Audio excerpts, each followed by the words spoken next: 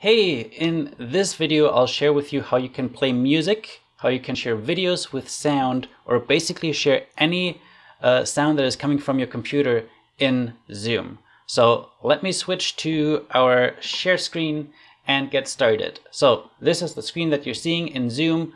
All you have to do is click the big green share screen button at the bottom.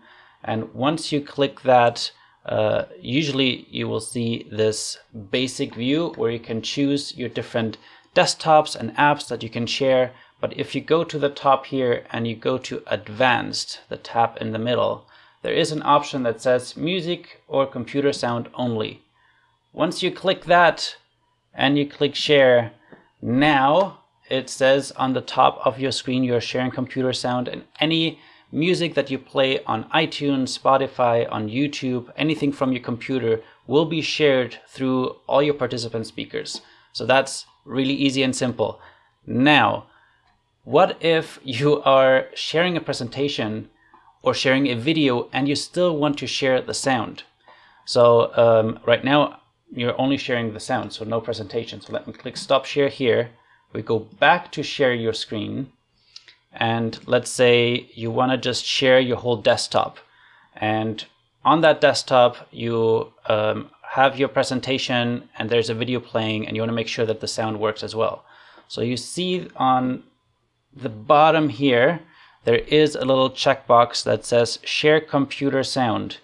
Um, and even says in the little um, text other participants will be able to hear the audio running on your computer as well as see your uh, screen. So once you check this and select your presentation, you're good to go for uh, any music. But if you're also sharing a video, you definitely want to make sure that you click this uh, optimize share screen for a video clip as well down here.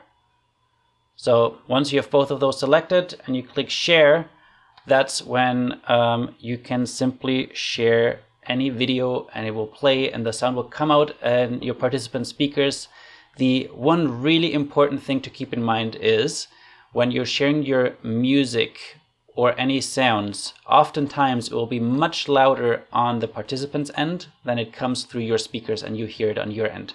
So I highly recommend before you play music, before you play a video, you do a quick sound check, maybe with one other person, your tech co-host that shows up at the beginning, just to make sure that the levels are not overpowering and um, also not too low. All right, that was one quick tip.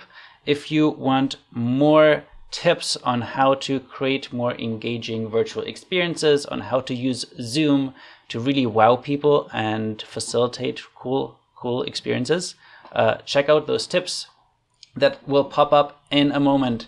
All right, have a wonderful rest of your day. I'm going to say goodbye. See you all soon. Bye.